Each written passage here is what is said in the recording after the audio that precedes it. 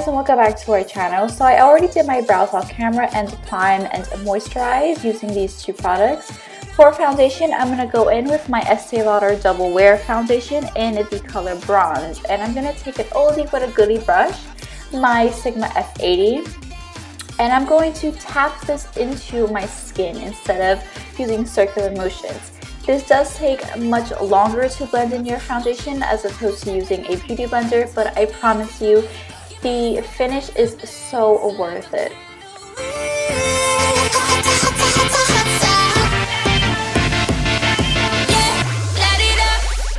I finally got my hands on my on the Morphe 35O palette and I'm going to use this for the entire look. I'm picking up these two very light brown shades tapping off the excess and using this basically as my transition shade and blending this into my crease and outer V. And when I have no additional product left on my brush, I'm going to blend it up into and closer to my brow bone. After I'm finished with that, you're going to see me pick up a darker brown shade and I'm going to place this directly where we put the transition shade and blend it again into my crease and outer V and when I have no additional product left on the brush I'm going to blend it up to my brow bone.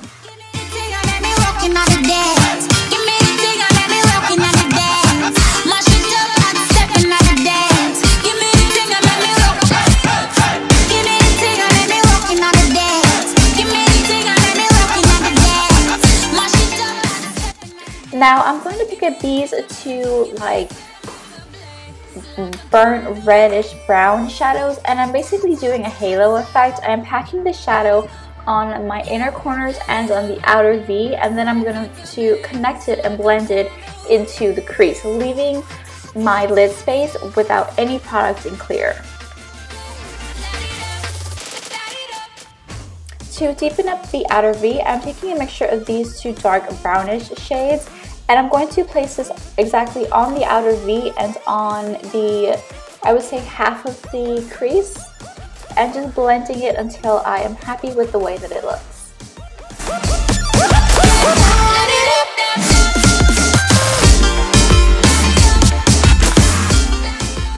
I'm picking up a clean blending brush and picking up this orangey shadow and I'm going to use this to blend out all of the edges and make sure everything is nice and seamless without any harsh lines.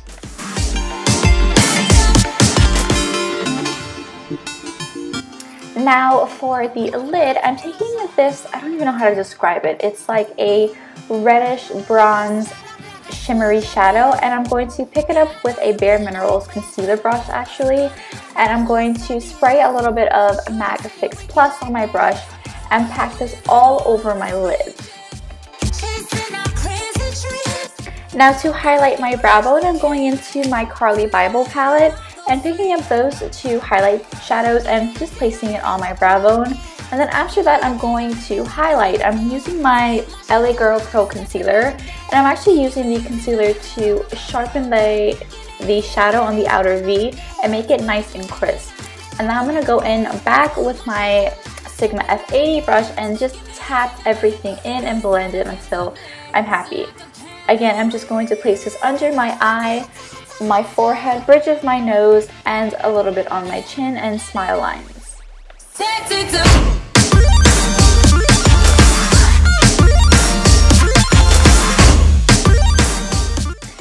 Now I'm going to go in with my Wet n Wild contouring palette and this is in the shade Caramel Toffee and I'm just going to use the banana shade to set everywhere that I put concealer. And then I'm to go in with my Milani Multitasker Powder in the color Tan and set everywhere else that I didn't put concealer.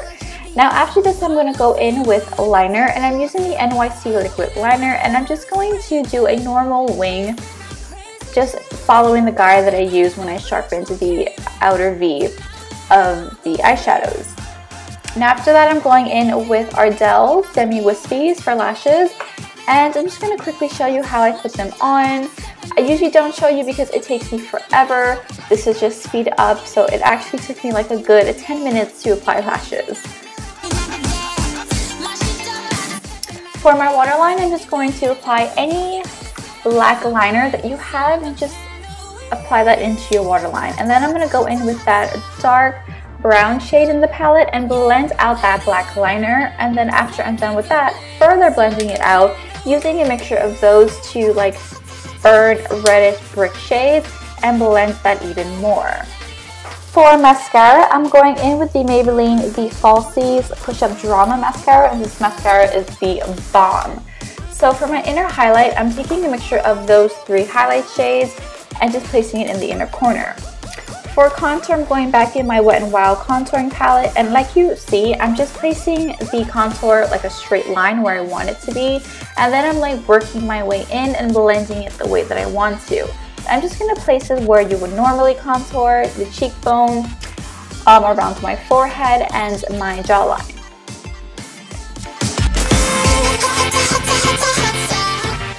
For blush, I'm going in with one from Milani. This is a powder blush. It's in the color Romantic Rose.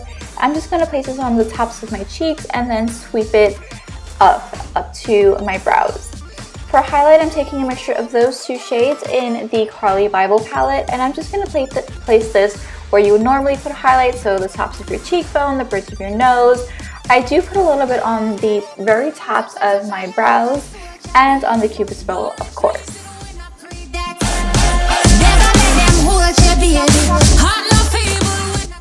I'm going to clean up that contour line using the banana shade in the Wet n Wild palette.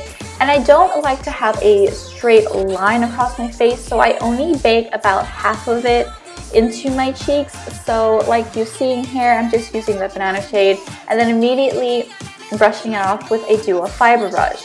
Then I'm to go in with a lip liner from Wet n Wild, this is in maroon, and then Whirl from MAC just to top everything off. And this is going to be the end of the look, guys. I hope you like it. Don't forget to give the video a thumbs up. Please subscribe and follow us on Instagram.